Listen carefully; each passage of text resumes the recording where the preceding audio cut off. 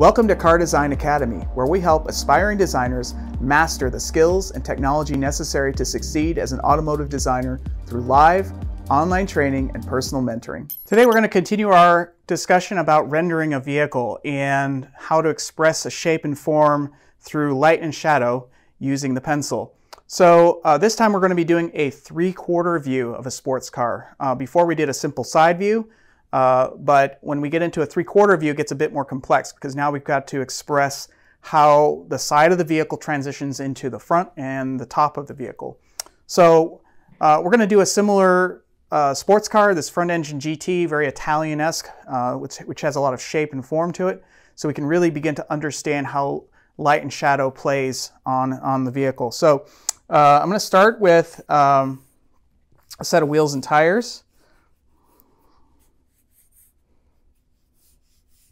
You can see I'm, I'm kind of skipping the whole process of drawing the, the, the, cube in space because that's, that's something that once, once you're proficient enough in drawing cars in perspective, you're going to know how to express a vehicle in perspective without having to draw all of the, you know, the vanishing points and the boxes and all of that. Lightly blocking in the main forms of the vehicle.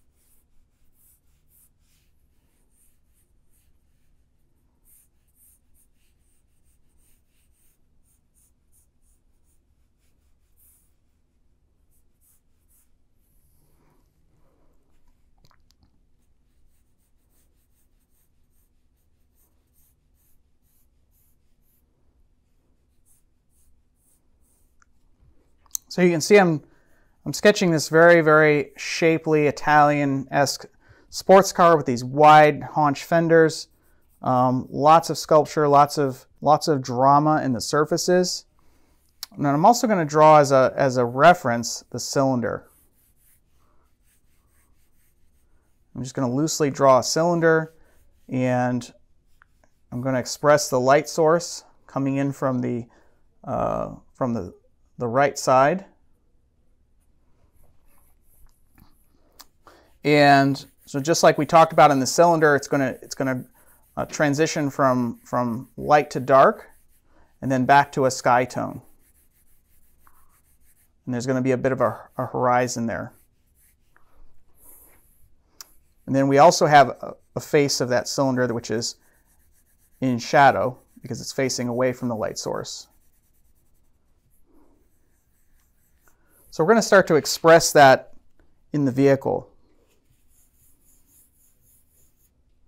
And how we transition from the side of the vehicle to the front and the top is going to be very, very important and critical. We get those, those light and shadow elements correct. One of the most prominent features on this vehicle is going to be this, this very deeply sculpted air extractor, which is going to be in shadow reflecting the ground tone. And we're also going to have an actual opening, which will be entirely in shadow.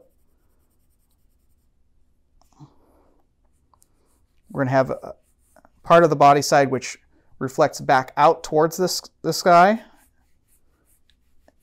and then back to, to uh, showing the ground, to reflecting the ground. If you think of the vehicle as a mirror of the world around it, it's going to be reflecting the sky, the horizon, and the ground. And so where you position those, those tones um, will really give the viewer a clue as to what the forms are doing. So in this case, we're trying to do this really deeply sculpted uh, air extractor, which which tunnels into an intake on the body side. And then the front fender is just going to be a nice, simple, smooth barrel, barrel form. So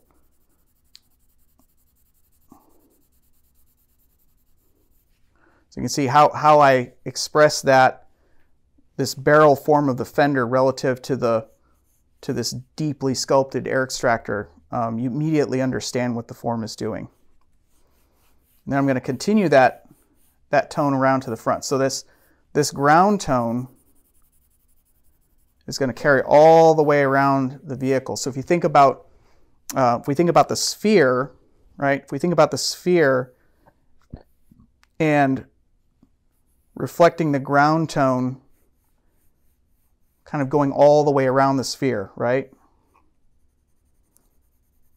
That's kind of how we're expressing the front of the vehicle.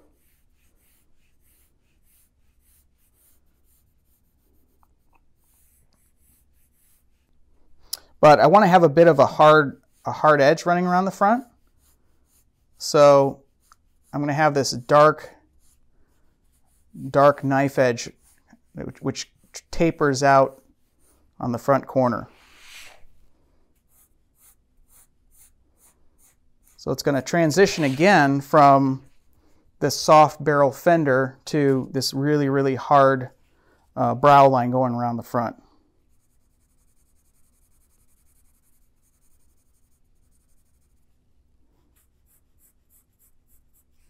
And then we're going to start to transition into a sky tone. So as, as the front fenders roll over to skyward facing, they're going to start to transition into a soft gradation of sky tone.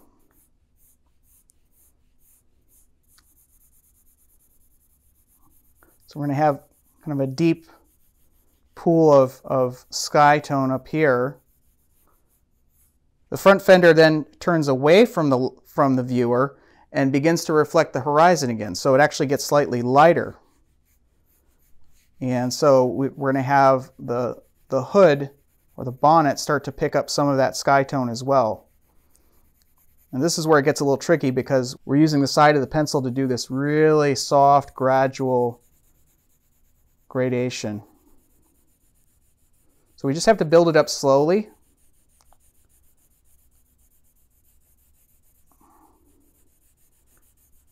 And as, as the bonnet or as the hood comes down closer to the horizon line, it's going to get lighter again because it's going to be reflecting more of that, that white atmosphere around the, the base of the horizon.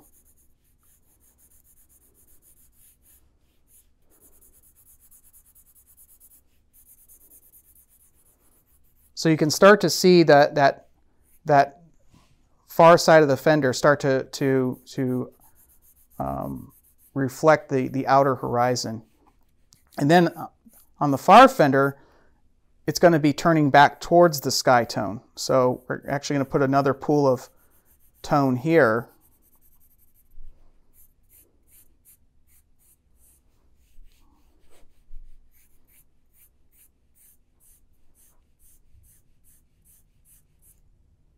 So now you're really starting to read this, this cross section of the fender reflecting the sky tone. So we're actually using the sky tone to render the form of the hood.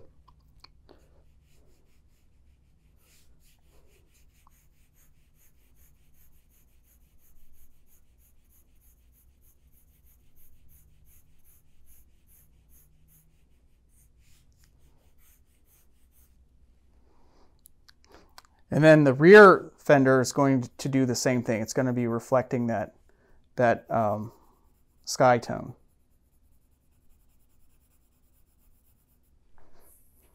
And we're, we're actually going to take some of that sky tone into the, into the cabin.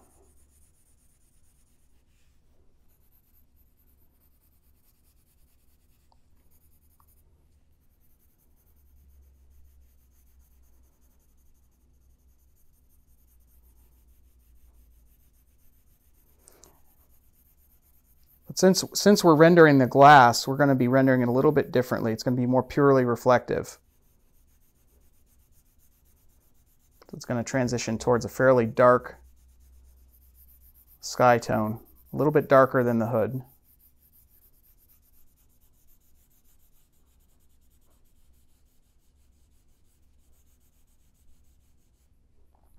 And then we're going to have this hard reflection, which is going to be a little bit of the horizon on the opposite side of the vehicle, or it could be an object um, near the vehicle, like a building that is just giving us this little hint of the opposite side of the vehicle.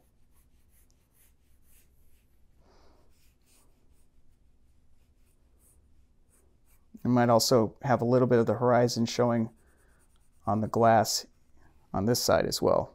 It just gives it gives the glass a little bit more of a glossy, ref, mirror-like reflectivity.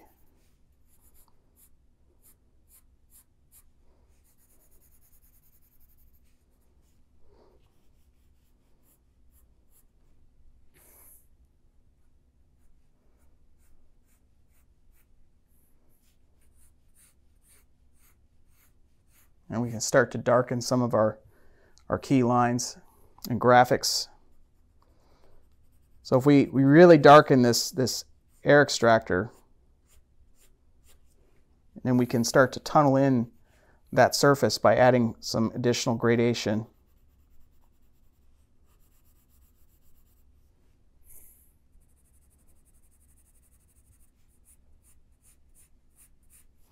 And you just keep building it up slowly.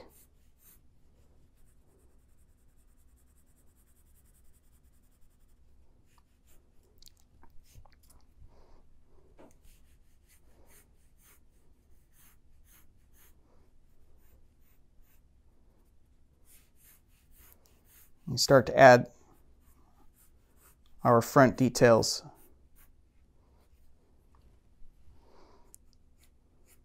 So what I'm doing here is, since this is an Italian vehicle, I'm giving it this kind of upside down alpha, alpha V shape, Alfa Romeo.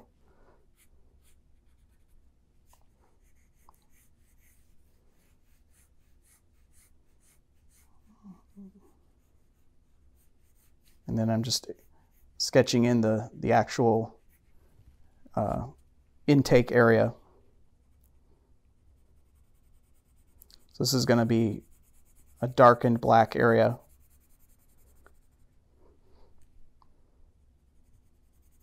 What's great about Prismacolor is you can really you can really darken uh, an area and, and make it super, super rich and, and dark, but you can also add a lot of subtlety and, and gradation.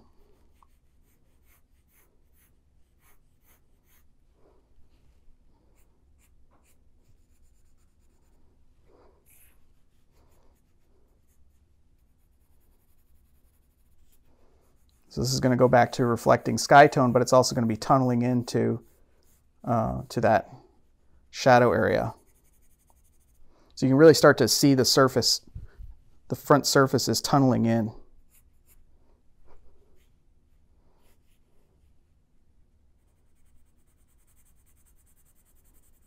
And just keep building up the tones.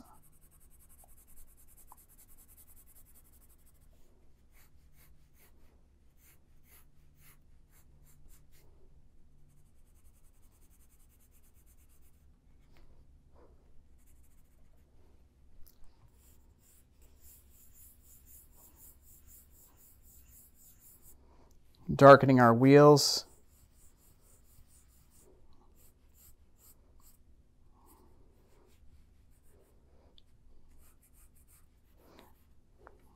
I also tend to let the, the sketch get slightly faded um, as, as you get further away from the, from the focal point. It helps to add visual depth. So, so you have the greatest amount of contrast in the focal area and then everything kind of fades out and, and lightens up as you get towards the, the farther extremities.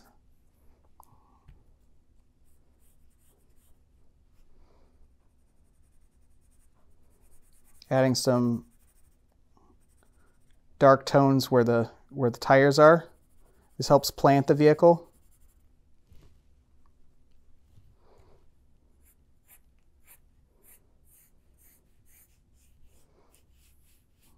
And maybe maybe some some lighting, just some just some hint of a of a of a lighting graphic.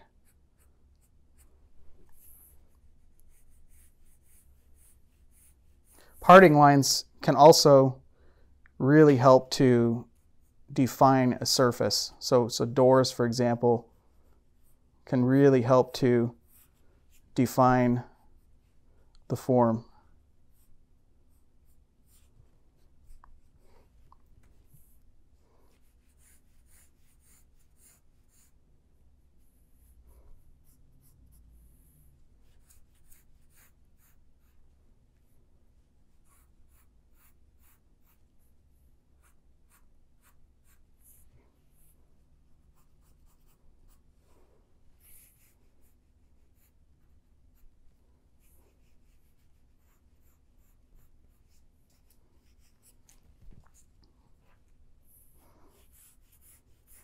So you're really starting to be able to see the, the, the form of the vehicle as it transitions from ground to, to horizon to sky. And how I'm using different areas of, of light and shadow to, to define the form. So you can really understand what the shape of the vehicle is doing. And also how you express those transitions from the side of the vehicle to the top of the vehicle to the front of the vehicle. If you're looking to take your car design career to the next level, you need a mentor who can show you the way. Go to www.cardesign.academy and book a free discovery call. We can help you map out a strategy to master the skills and technology necessary to succeed as an automotive designer through live, online training, and personal mentoring. Whether you're just starting out on the journey or you're looking to level up, subscribe to our channel and be sure to follow us on Instagram at cardesign.academy.